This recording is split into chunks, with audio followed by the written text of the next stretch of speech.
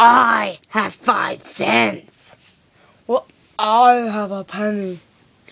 I have ten cents. So eat your good dear. Uh, you're, uh, uh, uh Yeah, stop.